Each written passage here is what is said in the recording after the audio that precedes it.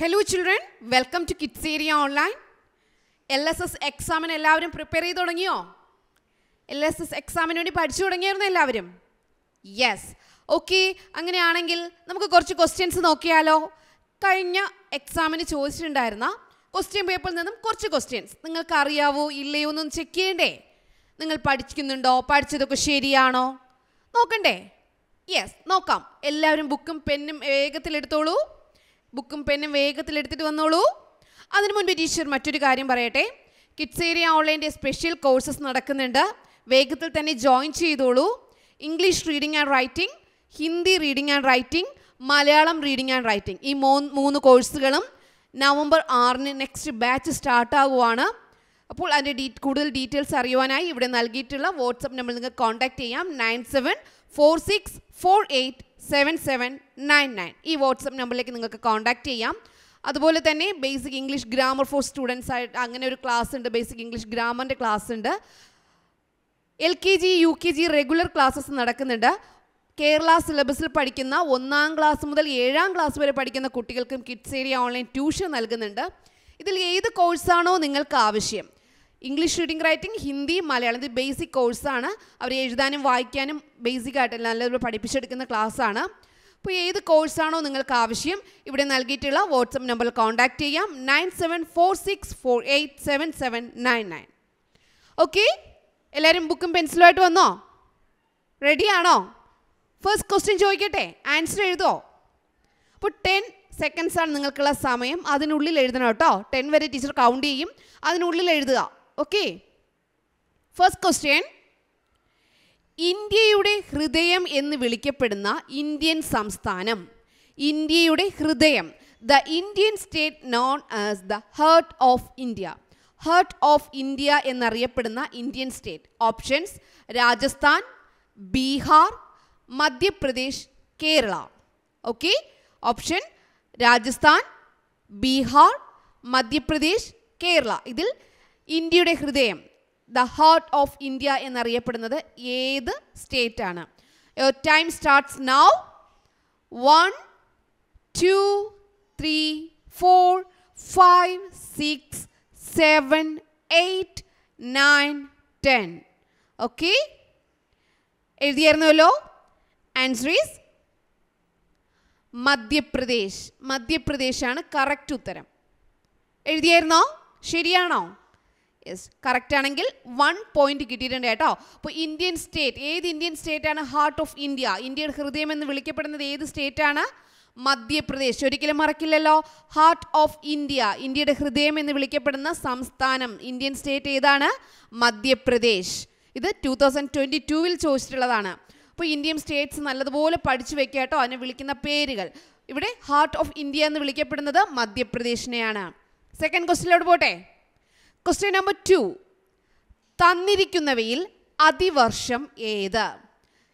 Of the following which is a leap year leap year ഇതിൽ ഏതാണ്? അതിവർഷം ഇതിൽ ഏതാണ്? ടു തൗസൻഡ് ട്വന്റി വൺ രണ്ടായിരത്തി ഇരുപത്തൊന്ന് ടു തൗസൻഡ് ട്വന്റി ടു രണ്ടായിരത്തി ഇരുപത്തിരണ്ട് ടു തൗസൻഡ് ട്വന്റി ത്രീ രണ്ടായിരത്തി ഇരുപത്തി മൂന്ന് ടു തൗസൻഡ് ട്വന്റി ഫോർ രണ്ടായിരത്തി ഇരുപത്തി നാല് ഇതിൽ ഏതാണ് അതിവർഷം? ഈ തന്നിരിക്കുന്നവയിൽ അതിവർഷം ഏതാണ്? വേഗത്തിൽ ആൻസർ എഴുതിക്കോളൂ. വേഗത്തിൽ എഴുതിക്കോളൂ. ഇതിൽ അതിവർഷം ഏതാണ്? ലീപ് ഇയർ ഇതിൽ ഏതാണ്? Your time starts now ten വരെയാണ് ടൈം ഉള്ളത്. വേഗത്തിൽ എഴുതിക്കോളൂ.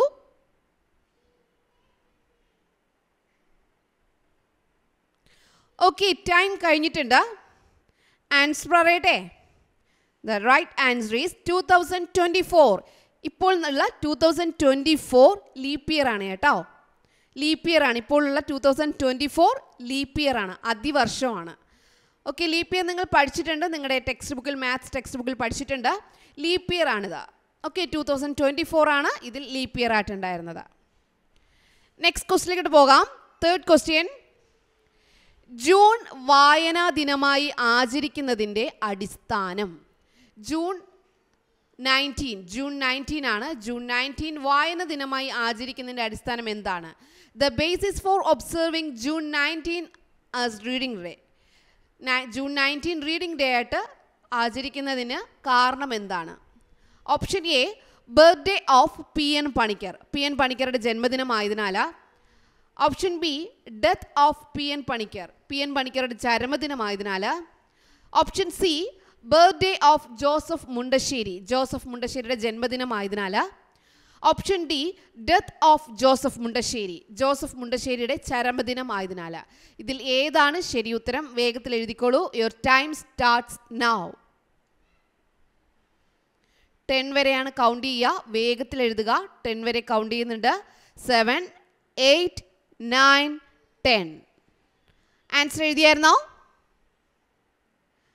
ഓപ്ഷനെങ്കിലും നിങ്ങൾ എഴുതിയിട്ടുണ്ടാവുമല്ലോ. ഓപ്ഷൻ എ ആണോ ബി ആണോ സി ആണോ ഡി ആണോ? അത് നിങ്ങൾ വേഗത്തിൽ എഴുതുക കേട്ടോ. എഴുതിയല്ലോ? Okay right answer is death of P N Panicker P N പണിക്കരുടെ ചരമദിനമാണ്. ജന്മദിനമല്ല ചരമദിനമാണ്. Death of P N Panicker P N Panicker മരിച്ച ആ ഒരു ദിനവുമായിട്ട് ബന്ധപ്പെട്ട് June nineteen P N Panicker മരിച്ചത് ജൂൺ നയന്റീൻ ആണ്. അതിന്റെ ഭാഗമായിട്ട് ജൂൺ നയന്റീൻ റീഡിംഗ് ഡേ വായനാ ദിനമായി ആചരിക്കുന്നു. അത് എല്ലാ സ്കൂളുകളിലും ഈ ജൂൺ നയന്റീൻ ആചരിച്ചിട്ടുണ്ടാവും. ഓക്കെ സംശയമില്ലല്ലോ? നെക്സ്റ്റ് ക്വസ്റ്റ്യൻ നെക്സ്റ്റ് ക്വസ്റ്റ്യൻ മനുഷ്യനെ ബഹിരാകാശത്ത് അയക്കാൻ നടപ്പാക്കുന്ന ഇന്ത്യൻ ബഹിരാകാശ പദ്ധതി. മനുഷ്യനെയാണ് കേട്ടോ. മനുഷ്യനെ ബഹിരാകാശത്ത് അയക്കാൻ വേണ്ടിയിട്ട് നടപ്പാക്കുന്ന ഇന്ത്യയുടെയാണ് ബഹിരാകാശ പദ്ധതി ഏത്? Which Indian space programme is being implemented to send man into space send man into space അതിനായിട്ട് ഇന്ത്യൻ സ്പേസ് പ്രോഗ്രാം ഏതാണ്? Option A Gaganyaan. Option B Mangalyaan. Option C Chandrayaan. Option D messenger okay your time starts now വേഗത്തിൽ എഴുതിക്കോളൂ. Option ആദ്യം എഴുതുക കേട്ടോ. A ആണോ B ആണോ C ആണോ ഡി ആണോ? അങ്ങനെയാണെങ്കിൽ നിങ്ങൾക്ക് ഉത്തരം ശരിയാണോ തെറ്റാണോ എന്ന് കണ്ടെത്താലോ. ഓക്കെ ടൈം ഈസ് ഓവർ എഴുതിയായിരുന്നോ? റൈറ്റ് ആൻസർ ശരി ഉത്തരം. ഗഗൻയാൻ. ഏതാണ്? ഗഗൻയാൻ. ഗഗൻയാനാണ് ശരി ഉത്തരം. ഗഗൻയാൻ. അപ്പോൾ send man into space മനുഷ്യനെ ബഹിരാകാശത്ത് അയക്കാൻ നടപ്പാക്കുന്ന ഇന്ത്യൻ ബഹിരാകാശ പദ്ധതിയാണ് ഗഗൻയാൻ. ഓക്കെ സംശയമില്ലല്ലോ? ഇല്ല. അങ്ങനെയാണെങ്കിൽ നെക്സ്റ്റ് ക്വസ്റ്റ്യനിലേക്ക് പോകാം. നെക്സ്റ്റ് ക്വസ്റ്റ്യൻ എവിടെയാണ് കേരള ഫോക്ക് ലോർ അക്കാദമി സ്ഥിതി ചെയ്യുന്നത്? Where is the Kerala folklore academy located folklore academy എവിടെയാണ്? കേരള ഫോക്ക് ലോർ അക്കാദമി എവിടെയാണ്? ക്വസ്റ്റ്യൻ മനസ്സിലായല്ലോ? Option A Kannur. Option B Wayanad. Option C Kozhikode. Option D Thrissur ഇതിൽ ഏത് ഓപ്ഷനാണ് കറക്റ്റ് വേഗത്തിൽ എഴുതിക്കോളൂ. യുവർ ടൈം സ്റ്റാർട്ട്സ് നൗ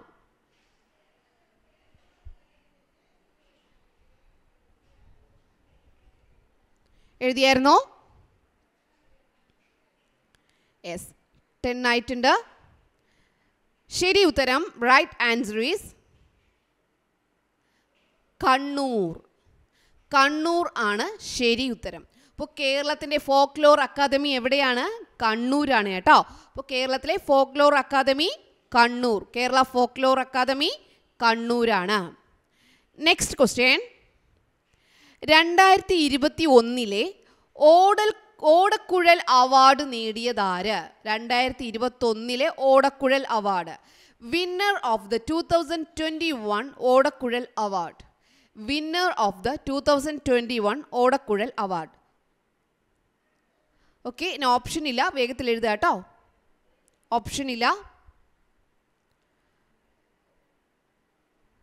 എഴുതിയായിരുന്നോ? സാറ ജോസഫാണ് കറക്റ്റ് ഉത്തരം. Winner of the two thousand twenty one Odakkuzhal award. Odakkuzhal award two thousand twenty Odakkuzhal award നേടിയത് ആരാണ്? സാറ ജോസഫ്. ഓക്കെ കറക്റ്റാണോ നിങ്ങൾ എഴുതിയ ഉത്തരം കറക്റ്റാണോ സാറ ജോസഫ് തെറ്റിപ്പോകല്ലേ? ടു തൗസൻഡ് ട്വന്റി വണ്ണിലെയാണ് ടു തൗസൻഡ് ട്വന്റി വണ്ണിലെ ഓടക്കുഴൽ അവാർഡാണ്. ആർക്കാണ്? Sara Joseph. സാറ ജോസഫിനാണ് ടു തൗസൻഡ് ട്വന്റി വണ്ണിലെ ഓടക്കുഴൽ അവാർഡ്. നെക്സ്റ്റ് ക്വസ്റ്റ്യൻ ഇതിനും ഓപ്ഷൻ ഇല്ല വേഗത്തിൽ എഴുതുക. P V Sindhu. ആരാണ്? P V Sindhu. ഏത് കായിക ഇനവുമായി ബന്ധപ്പെട്ടിരിക്കുന്നു? P V Sindhu. ഏത് കായിക ഇനവുമായി ബന്ധപ്പെട്ടിരിക്കുന്നു? P V Sindhu is associated with which sports item P V Sindhu is associated with which sports item P V Sindhu ഏത് സ്പോർട്സ് ഐറ്റമായിട്ടാണ് ബന്ധപ്പെട്ടിരിക്കുന്നത്? ടൈം സ്റ്റാർട്ട്സ് നൗ ഓക്കെ വേഗത്തിൽ എഴുതിക്കോളൂ. വേഗത്തിൽ എഴുതിക്കോളൂ. എഴുതിയായിരുന്നോ? Answer is badminton P V Sindhu ഏത് കായിക ഇനത്തിലുള്ളതാണ് badminton P V Sindhu ഏത് കായിക ഇനവുമായാണ് ബന്ധപ്പെട്ടിട്ടുള്ളത്? ബാഡ്മിന്റൺ തെറ്റില്ലല്ലോ? പി വി സിന്ധു ഏത് സ്പോർട്സ് ഐറ്റമായിട്ടാണ് ബന്ധമുള്ളത്? ബാഡ്മിന്റൺ ഓക്കെ നെക്സ്റ്റ് ക്വസ്റ്റ്യൻ ഒരേ ഒരു ഭൂമി the theme only one earth only one earth ഒരേ ഒരു ഭൂമി എന്ന ആശയം ഏത് ദിനാചാരണവുമായി ബന്ധപ്പെട്ടിരിക്കുന്നു? ഒരേ ഒരു ഭൂമി എന്ന ആശയം ഏത് ദിനാചരണവുമായി ബന്ധപ്പെട്ടിരിക്കുന്നു? The theme only one earth is associated with which day celebration the theme only one earth is associated with which day celebration? എഴുതിയായിരുന്നോ? യുവർ ടൈം സ്റ്റാർട്ട്സ് നൗ തെറ്റിപ്പോർ വിഷമിക്കേണ്ട കേട്ടോ. നിങ്ങൾ എന്ത് ചെയ്യുക? വീണ്ടും ഇത് അറ്റൻഡ് ചെയ്യുക. വീണ്ടും അറ്റൻഡ് ചെയ്യുമ്പോൾ എന്താ? നിങ്ങളിത് നല്ലതുപോലെ പഠിച്ചു കഴിയും. പരിസ്ഥിതി ദിനമാണ് കേട്ടോ. എൻവയോൺമെന്റ് ഡേ എന്താണ്?